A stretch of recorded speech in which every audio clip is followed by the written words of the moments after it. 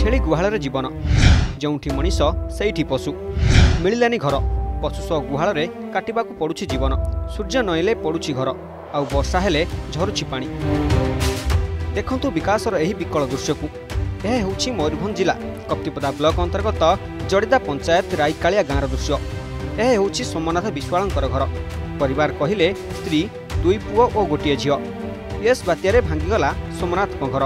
ଆଉ ଏହାପରେ ଘର ମରାମତି କରିବା ସମ୍ଭବପର ହୋଇନଥିଲା ଏବେ ଏଭଳି ଦୟନୀୟ ଭାବରେ ରହୁଛନ୍ତି ଏମାନେ କ'ଣ କରିବା କି ନାହିଁ ଯେତେବେଳେ କୌଣସି ମାତ୍ରାରେ ଆଉ ଘର ବନେଇବା ପାଇଁ ତ କ୍ଷମତା ଥିଲେ ତ ବନାନ୍ତେ ଆଉ ତ କିଛି ନାହିଁ ପାରିଲେନି ଆଉ ଆମର ସେ ପତର ଯଦି ପାଇଲେ ତ ସିଲେଇ କଲେ ପତର ଆଣିକି ଆଉ ନହେଲେ ଯଦି କେହି କାମ ଦାମକୁ ଡାକିଲେ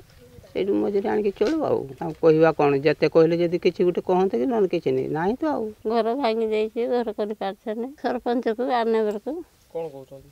त्यो कि त कागज र आमे आ प्राय झिउने मूल दुःख कले चलुछ खलिसल पेटपऱ्यो आउँ अर्थहरू कि भन्दै तिरि घर ते गुहाले रुचाउ यही शोवा आरंभ सरपूर्भी ब्लक प्रशासन निकटले जन कि सहायता मिलेन ତେବେ ଭାଗ୍ୟକୁ ଆଧାରି ଏହି କୁଡ଼ିଆରେ କାଟୁଛନ୍ତି ଦିନ ଦୁଇ ହଜାର ସତରରୁ ଦୁଇ ହଜାର କୋଡ଼ିଏ ପର୍ଯ୍ୟନ୍ତ ଥିଲେ ଆମର ହେଉଛି କଳ୍ପନା ପାତ୍ର ସରପଞ୍ଚ ଯିଏ ତାଙ୍କୁ ବି ଏ ବିଷୟରେ ଜଣାଇଥିଲୁ ତାପରେ ଆସିଲେ ହେଉଛି ଦୁଇ ହଜାର କୋଡ଼ିଏରୁ ଦୁଇ ହଜାର ବାଇଶ ଏବେ ରହିଛନ୍ତି ଯିଏକି ମିନତି ମଢ଼େଇ ତାଙ୍କୁ ବି ଏ ବିଷୟରେ ଜଣାଇଲୁ ଜଣାଇବା ପରେ ସେ ହେଉଛି କହିଲେ ଯେ ତୁମେ ଫର୍ମ ଦେଇଥିଲ କି ନାହିଁ ମୁଁ କହିଲେ ହଁ ଫର୍ମ ତାଙ୍କ କ ଖ ଗ ଫର୍ମ ଦିଆହେଇଛି ଦେଲା ପରେ ବି ସେ ଆମେ ଯାଇ ଖୋଜିଲୁ ପଞ୍ଚାୟତରେ ବି ପାଇଲୁ ନାହିଁ ତାପରେ ହେଉଛି ଯାଇକି ବିଡ଼ିଓଙ୍କ ବିଷୟ ଜଣାଇଲୁ ବିଡ଼ିଓ କହିଲେ ଯେ ଯାଇକି ହେଉଛି ପିଓଙ୍କୁ ପଚାରନ୍ତୁ ତାଙ୍କୁ କହିଲେ ମୁଁ କିଛି ନହେଲେ ଛପଟା ପାଇଁ କିଛି ନହେଲେ କିଛି ସାହାଯ୍ୟ କରନ୍ତୁ କି ନହେଲେ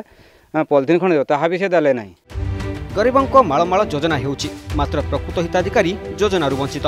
ଏହି ଦୃଶ୍ୟକୁ ଦେଖିଲେ ଯୋଜନା କାହା ପାଇଁ ପ୍ରଶ୍ନବାଚୀ ସୃଷ୍ଟି ହେଉଛି ମୟୂରଭଞ୍ଜ ଉଦଳାରୁ ସନ୍ତୋଷ କୁମାର ବାଛନିକ ରିପୋର୍ଟ ଆର୍ଗସ୍ ନ୍ୟୁଜ୍